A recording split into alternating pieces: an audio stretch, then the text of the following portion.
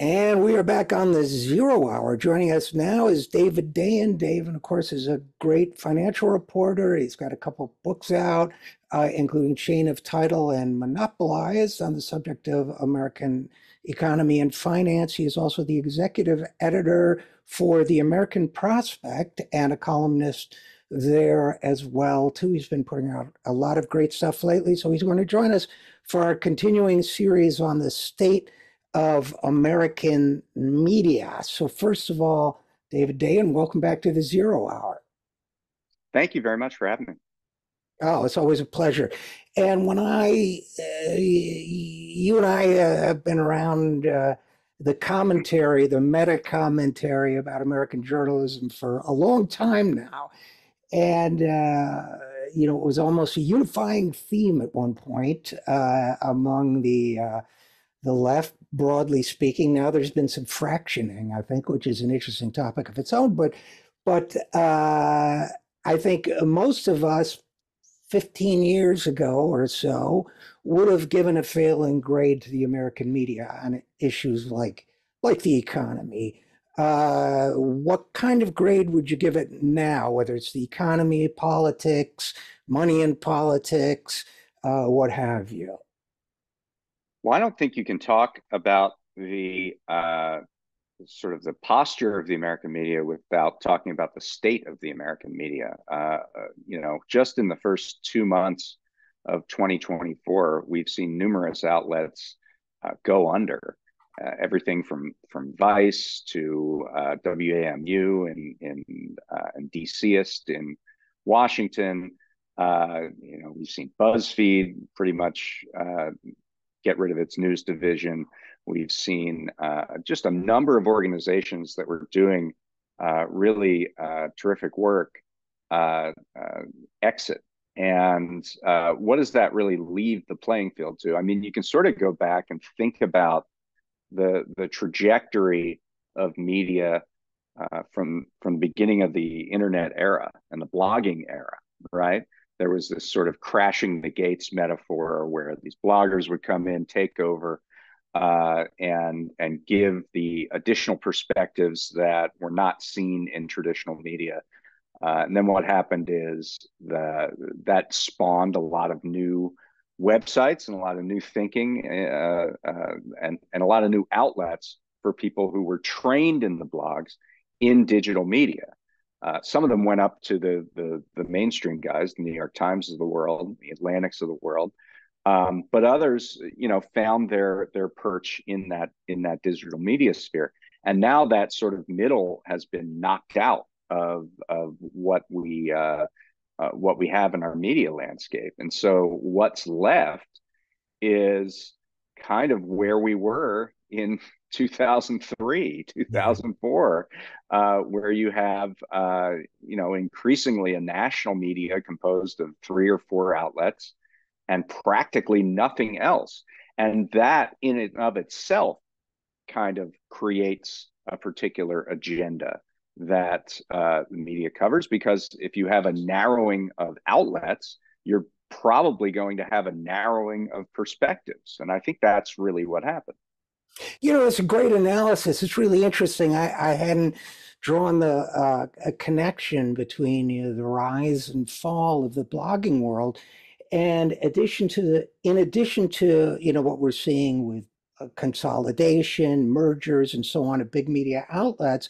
What we've seen of that, uh, you know, let a thousand flowers bloom era of blogging is that, in fact, it added how do I put this? Another layer, uh, but another layer that became ossified, stratified, concentrated. In other words, you know, you mm-hmm. had the mm-hmm. right and the left, and and uh, you know, you had Firedoglake, and you, where we both wrote, you had you know thing, uh, you you had uh, Red State and Town Hall on the right.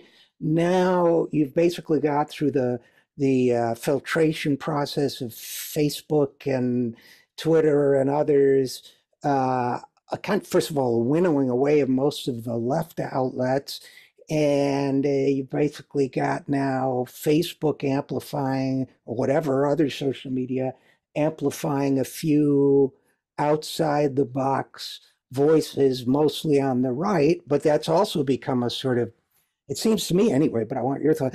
Uh, that's also become a kind of um, information monopoly, if not a fiscal monopoly in, in, in, the typical sense. You look at Ben Shapiro or whomever, uh, you know, being four of the top uh, Facebook feed yeah. news items in any given week.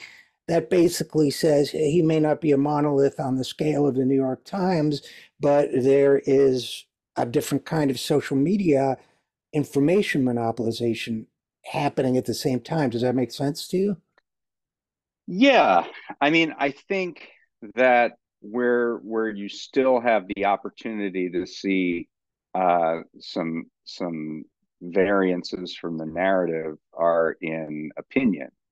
And uh, you know opinion journalism uh, has be- basically gone from the micro blogging level on up. You have you have anyone who can express their opinion on on twitter or x or whatever you call it. And uh, uh but the the economics of the situation means that you can't actually produce a whole lot in the way of facts right. Uh, uh, in in that environment so yeah, you have a lot of talkers and shouters, and you always have. I mean, you know, the right has had kind of a monopoly on those kinds of opinion channels back from when they were talk radio, right? Um, and so you you have that and and the ability to uh, craft uh, narratives and and and you know kind of uh, line people up uh, on the right to to that one overarching narrative. Um, but uh, the way in which you can persuade uh, or or use uh, actually what's what's happening, like what to use facts uh, to to drive a narrative that that's more difficult now, um, just because you, that there just aren't that many uh, uh, aren't that many centers of with with the resources to actually you know have the ability to to produce that kind of information. And one of the funny things that's I, I think that's a, gr- a great point, but one and one of the funny things that's happened, at least in terms of my own uh, media criticism, for lack of a better term, is it was easier in the 2000s to criticize the so-called both sidesism of uh, well, you know, Mr. Hitler says he's not killing Jews, and Mr. de Gaulle says he is, and you know, we just report what the two sides. You know, it, it was easy to critique that, or the elite consensus of yes, Social Security is running out of money, which is nonsensical, but uh, that was, and it in many ways still is, a, a default assumption of the uh, mainstream media and so on. But now the landscape has changed, but where I have to say uh, they may be misrepresenting uh, taxation or the state of inequality or exaggerating a new study about that says inequality isn't as bad as we think or whatever the issue du jour is to criticize the mainstream media. But I, I often feel a tug of saying, but at least they're not like these other people who are absolutely out of their minds. And right. um, yeah, I mean, I'm not stopping those critiques of mainstream media, but we have this odd situation now where they seem to be the eh, mainstream media are once again, if anyone's got the resources, with a few exceptions, like uh, you know, like your magazine, the American Prospect, but it, it, it's pretty hard to have anybody critique that mainstream narrative with facts um, because the resources just aren't there. So it's like I yeah. want to defend the fact gathering resources while attacking the biases with which those facts are presented. It's a difficult situation, and we have we have seen this in other areas uh, within sort of political life. Uh, one that comes to mind is uh, elections. I mean, it wasn't so long ago that uh, when you talked about election integrity, you were talking about essentially a province of the left, people like Brad Friedman and, and right. others, who talked about, uh, you know, it's not great that we have these ballots that cannot be double checked and that uh, have don't have a voter verifiable uh, trail on them. Uh, and then that got completely hijacked by the right and and uh, you know swept up into this sort of tornado of misinformation and and and self-serving uh, descriptions uh, that only come out when Republicans lose elections, right? So um, so they kind of co-opted that space, that that space around election integrity, and uh, you know instinctually, I think a lot of people on the left now see those questions about election integrity and they say, well, that's that's absurd. Look at who's talking about this. There can't be a problem with our elections. When you know maybe there can be. You know, I mean, right. I, I I certainly remember Ken Blackwell in in Ohio in 2004, and the, the fact that the uh, the vote counting was shut down for a while. Anyway, um, I think there's a similar thing going on when you're talking about media. You know, uh, as mm-hmm. you say, uh, in the early 2000s, uh, media criticism was sort of a province of the left. And uh, gradually, in the era of calling it fake news, it became something that the right excelled in, right. such that the left uh, sort of knee jerk uh, responds in defense of sort of journalism in the abstract and uh, you know then it sort of gets channeled into particularly defending things like the new york times when well, I, you know yeah, what we saw just uh, just one last thing what we saw sure. just in the past few days is the new york times hired this woman who was randomly a filmmaker who had never written any journalism in her entire life to weigh in on one of the key debates around Gaza, and that was the use of uh, you know uh, sexual intimidation as a weapon in in in uh, by Hamas, and uh, this was a woman who you know liked certain exterminationist rhetoric uh, uh, and and and had no background whatsoever um, in journalism and uh, when those uh, the the thing she was writing front page stories for the New York Times, right. and when those things were sort of brought down a peg, um, uh, now there's sort of a review of her conduct. But uh, I think that this instinctual uh, positioning that puts liberals in the position of of automatically defending the New York Times and everything that's in it uh, sends us down a really bad road. Like, are we going to defend the Judith Millers of the world? And that's what this situation I'm talking about with Anat Schwartz uh, and uh, and and the Israel uh, uh, uh, reporting they've done ends up ends up taking.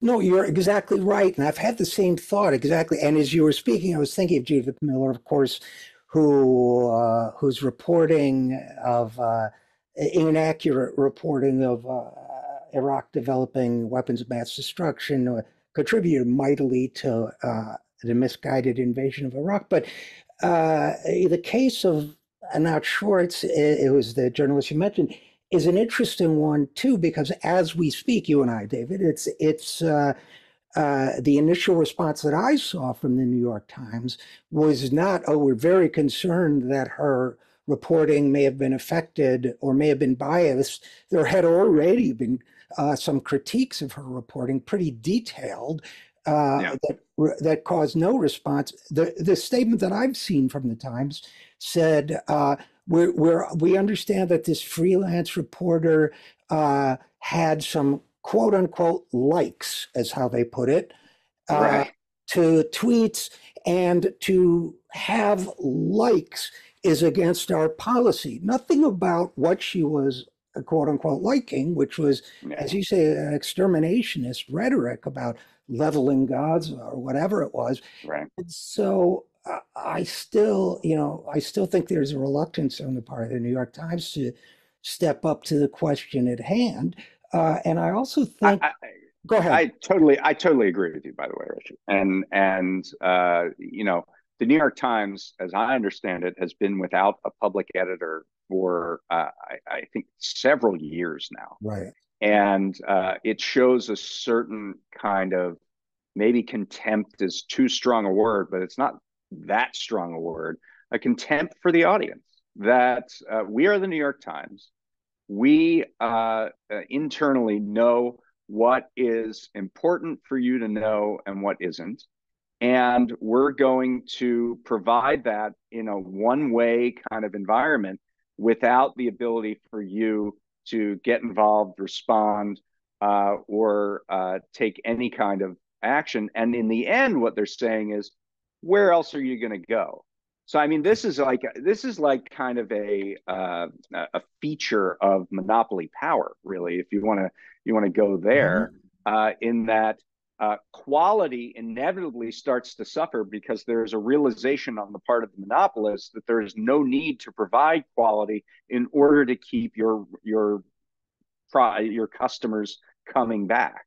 And so, with the New York Times now the preeminent uh, uh, news gathering source in the United States, there is this arrogance that seeps in that that says you know you're you're not really going to be able to to leave us because you need the information that we provide. Nobody else is going to give it to you. So uh you know sit down shut up and read our stories. And right, uh, no absolutely I mean, and I think that's the subtext right? Absolutely. And and add to that the fact that any journalistic enterprise like the New York Times has multiple constituencies. It has its readers, its customers, it has its sources, it has its advertisers, uh, it has its a social network of its senior people, publishers, and so on.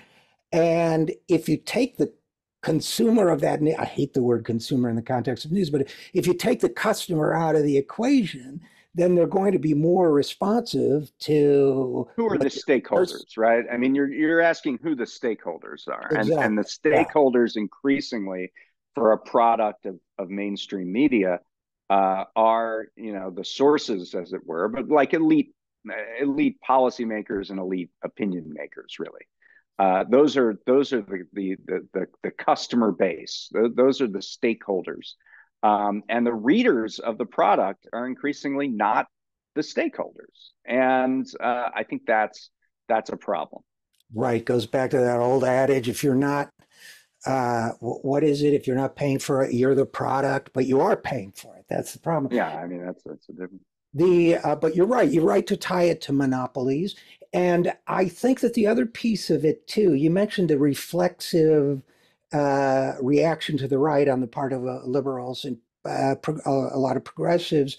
I think that's very true. And i think it's also true among the mainstream news media themselves that you have that's a trait they share, or when they are not the subject of the reflexivity. I'm thinking, for example, of the national security state. Uh, mm-hmm. It used to be the liberal position to critique the national security state, to expose the national right. security state, to cheer on the Dan Ellsbergs of the world. But, you know, Dan Ellsberg said, uh, Edward Snowden is me. But, uh, but uh, there was a Democratic president when uh, Edward Snowden revealed his information. And now we have, as a result of Trumpism, uh, a lot of uh, the media and a lot of liberals, however you want to define that, uh, lining up in defense of the national security state, I think solely because Trump and others are going after it to the point yeah. that you know you have good political scientists like Edward Glennon, who's been on this program talking about what he calls the double state, meaning nothing conspiratorial, but if you're in the, eh, you know, in a certain establishment for a long time, you have a set of shared values. They that that's not even acknowledged anymore. That that's uh, isn't that part and parcel. And to me, the media, a lot of the mainstream media reflects that bias as well.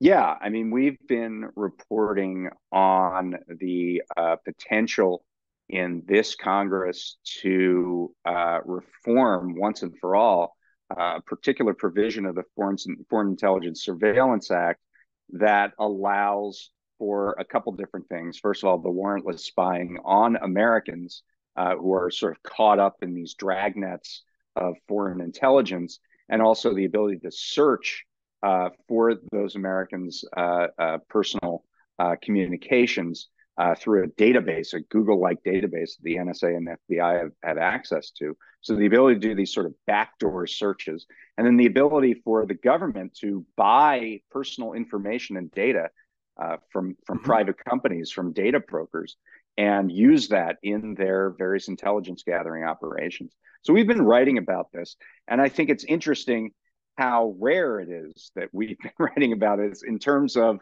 uh, uh, you know uh, publications on the left, nominally seen as on the left. Uh, there there isn't as much of an interest anymore in this situation where you have a bipartisan group of legislators that are really committed to reform in a greater way than we've seen at any time in the past decade. The Judiciary Committee in the House uh, passed a bill that included these reforms that passed 35 to 3. It was something Jim Jordan and Jerrold Nadler agreed with and, and, and spurred their, their uh, constituencies, their caucus to vote for uh, not something you see every day. And it's it kind of creates a do not compute in terms of some of the more partisan media places uh, that that are out there. They they they don't understand like a transpartisan kind of uh, inside versus outside game, intelligence community versus uh, reformers kind of game uh, fights in in in Congress.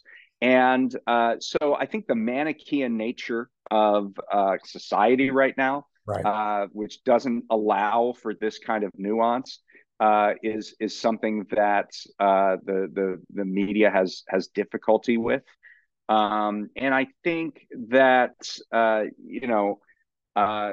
It it has created these this perversity that you d- just talked about. This fact that you know uh, Bill Kristol is now seen as an ally to right. liberals, right? And that the national security state is something to be defended by liberals because they're defending it against the uh, provocations of Trump and his ilk. Uh, this is uh, a really worrying kind of uh, situation because um, you know there is a qualitative difference, I think, between what uh, committed left would want to reform in the national security state uh, and what a committed sort of populist right would want to reform in the national security state. And uh, when the two get together, maybe you get some compromise where on that these particular issues you can you can find some common ground. But uh, left, you know, separately saying you can't have common ground on these issues. It's either you're either with us or with them. Uh, that creates situations that uh, I, I, think are are debilitating uh, for our national security. So uh, and our civil liberties more particularly. Right. So uh, yeah, it's um, uh, it, it's something that I think uh, media is still trying to wrestle with. Yeah, I, and I think that uh, you know, I frankly think that. Uh, well, let me give you an example. Uh, and I get in trouble with this, but I'm going to bring it up anyway, which is uh, Matt Taibbi is a, I consider him a friend. I've known him a long time. I was appalled by his treatment by Democrats when he and Michael Shellenberger went up in front of the committee. I mean, the idea of threatening a journalist with prison for mm-hmm. reporting in a way you didn't like, even if you accept the premise, which I don't necessarily, but even if you accept the premise that he was selective with the Twitter files, he picked ones that embarrassed one party and not another, even if that's true, the remedy for that is not prison, imprisoning journalists. And at my own birthday party, uh, I got in an argument with a constitutional lawyer about uh, the First hmm. Amendment. And I said, Well, what did you think of the treatment uh, on the special committee uh, on weaponizing media of the two journalists, Taibbi and Shellenberger? He didn't know about it. I had never heard of a constitutional lawyer interested in these issues. I said, What's your main source of news? He said, MSNBC. Right. I said, They didn't cover it on MSNBC? He said, Well, I didn't you know, I didn't see it. So we also have this funneling, this channeling. Uh, yeah. He might have uh, in an ally in this issue, uh, a civil liberties oriented person, you know, good guy, uh, but he didn't even know. So I think to me too, that's uh, fail when when media starts to act, uh, uh, identifies a market niche and serves it, whether it's Democratic, Republican. I think well, don't you? I mean, trouble. I I agree, but uh, you know that's been true since the founding of the republic, right? I mean, there were there were partisan house organs that uh, claimed that that Thomas Jefferson, you know, I, I remember seeing a famous uh, uh, during the election of 1800, uh, uh, political cartoon showed him burning the Constitution in effigy. That was the, that was the kind of rhetoric that we had back right. then, which might be familiar to us today. Right. right. Um, uh, you know, there were always partisan uh, organs uh, in in terms of newspapers. Um, that really didn't change until sort of the the gatekeeper era of of the you know I'd say the early television period, uh, maybe even before in terms of uh, news media, um, where you would have this sort of authorial voice from nowhere. Right, uh, right. which wasn't necessarily better either, right? right. I mean, uh, uh, they the the problem with the partisan media was they gave conflicting versions of the truth and they would only show their sphere of what they felt like you needed to know as a good partisan. Um, the difference with the view from nowhere media was they would show one version of the truth, but it wouldn't necessarily reflect the actual truth, but the right. truth as these various writers and editors wanted to shape it. Um, you know, I, I'm, I'm reminded of of the Gulf of Tonkin resolution as as mm-hmm. sort of the perfect example of this, uh, the the deficiencies in that. Um, so I don't know that there's one right way. I don't think we've right. gotten it right totally over our history. I think there is definitely a problem with filter bubbles in in the U.S. today. That you can choose your own media environment, choose what you want to hear, choose what facts you get to pick and choose from uh, and uh, it it makes it difficult to have a common conversation uh, with anybody um, that that doesn't share your your exact viewpoints. So I think that is a problem. Uh, but I think I think going back to sort of the uh, Walter Cronkite will tell me everything that's true, right. and we uh, all we can contest is on the margins. I don't know that that's necessarily a healthy environment either. So it's a it's a difficult question. Yeah, and when I was a teenage rebel, I used to hate those guys too. So, uh, especially Harry Reasoner, couldn't stand Harry Reasoner. But uh, David Brinkley was bad too. But uh, so it's interesting because to me, David, because oh, we've been around this, both of us, long enough that you know, media criticism in the 2000s was was an anti-elite exercise, right? I, I mean, that's yes. how I saw it. There was an elite yes. consensus that was wrong, that was failing working people, and we were, you know, I, you know, I can't speak for you, but you know, I felt we were, you know, a corrective to that on issues like Social Security, Medicare, healthcare, uh, taxation. But I, but I think if you talk to people on the right today who are in, have an antipathy towards the media, they would say it's the exact same exercise. They would not use those particular issue sets, but they would say we uh, are against the elite media who look down their noses at us, who uh, are too woke, who are uh, right. espouse a series of values that don't reflect my values, et cetera, et cetera. So you know, there's a certain sense in which all of these things kind of uh, you know all of these campaigns kind of come down to some of the similar kind of things.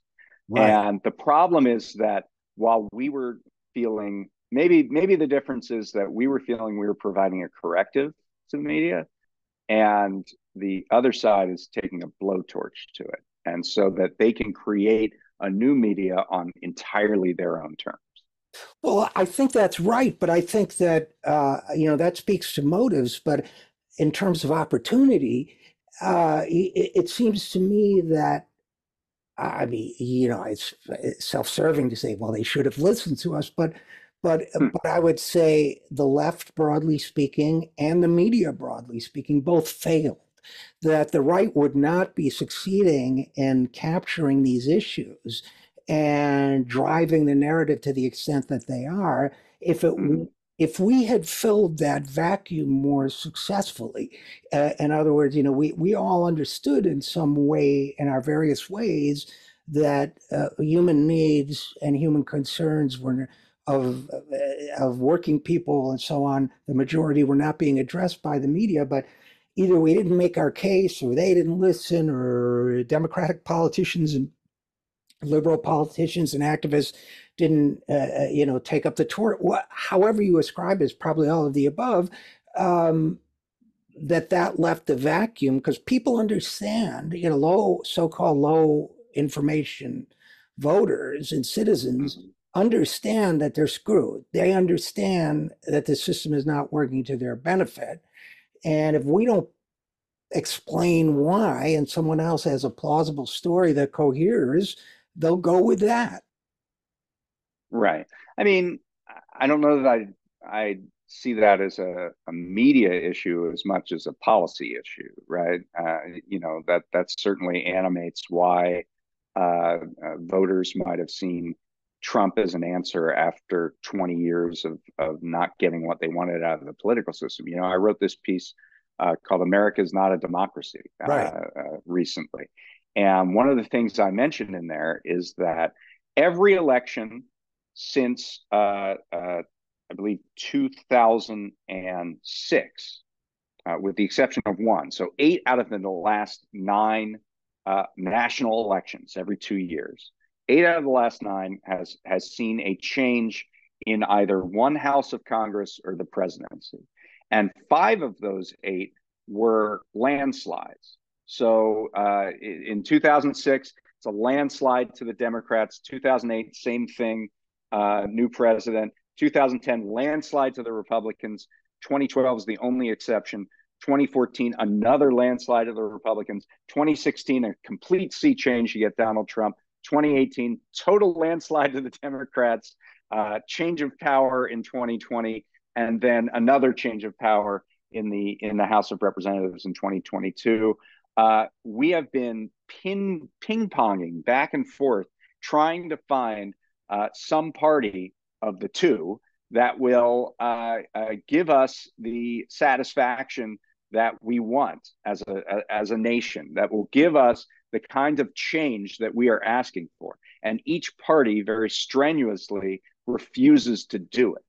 And uh, and and and people are sitting here in the middle uh, uh, saying well maybe you'll help me or maybe you'll help me or maybe right. you'll help me and the problem uh, is that our structurally our system of government uh, frustrates the ability to have electoral uh, outcomes turn into governing changes uh, because of the high veto points in the system, because the the way in which we elect uh, uh, people is not representative of what the voter intention is, because of of the filibuster allowing a tiny minority in the Senate to block any kind of uh, legislative action uh, that isn't very narrowly targeted uh, around the budget.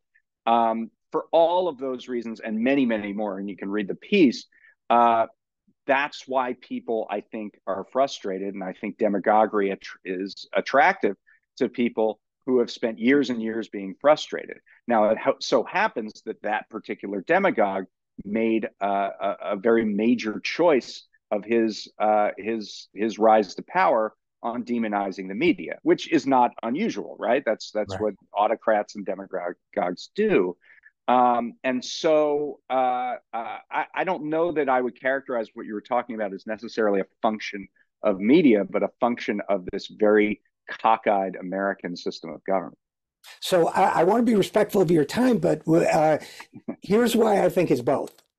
Because when the Washington Post, after Trump's election, adopts as its slogan, its banner slogan, democracy dies in darkness, right. speaking specifically to your point, that is telling readers we think we live in uh, that, that we have a democracy. We, the well-paid uh, editorial staff of the Washington Post, see nothing wrong with the system as it is today. We think it's working pretty damn good. So th- sure. that's part of it when when people turn on CNN, well, I, right, mm-hmm. and, uh, the implicit, uh, you know, if what you're saying, if what you're saying is the last 20 years have been characterized by this sort of failure of elites, and yes. the the the, the, the high organs of journalism, the house organs of journalism, are just as elite as the system in which they cover, then you have no argument for me. I mean, obviously okay. they're implicated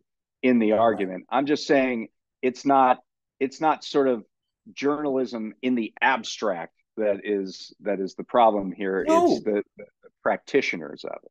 Oh, of course. No, I, no, I completely agree. But look how they treated Bernie when he came along. Look how they, right.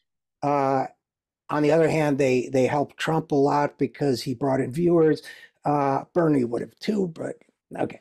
And um, so we, yeah, I think it's the sense of you know, the resentment that gets triggered by a sense of comfort and self satisfaction on the part of elites that Democrats haven't gotten, and it, right. it, it, but, it, but, it infuses. But what that campaign, I mean, I think it's very important to talk about that campaign that you were talking about, Democracy Dies in Darkness, because what that really did was set up a nominally uh, nonpartisan elite media in opposition to uh, to a certain faction of of our government, right? Right. And and then it it it created a which side are you on kind of situation where the way to rebel, as it were, against the party that was in power at the time was to read the Washington Post, right? Like that was right, that right. was seen as the transgressive thing yeah, yeah. Uh, to do.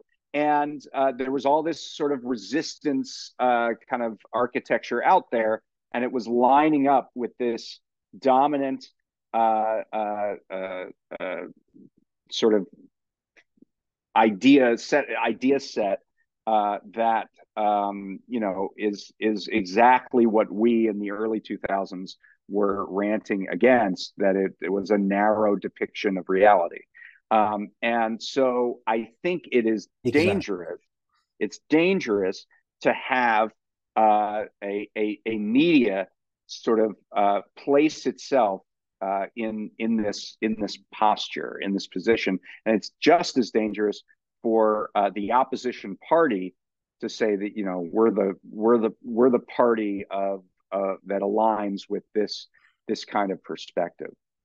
Yeah, I think that's right, and I think, but I also think it, it extends. I think that's exactly right, but I also think it extends to, for example, the way uh, voter uh, consumer confidence and voter polling on the economy is reported, mm-hmm. which is mm-hmm. suffused with a tone of these idiots don't know how good they have it, as opposed yeah. to which is another form of elitism, not partisan in nature, but it's a way of saying, you know, you don't know how good. Look at these indicators, you're doing great. Well, there are reasons that people are expressing anxiety. Maybe the media is fueling it at the same time that it's mocking it but also, uh, you know, you can dive into the numbers as I know you have.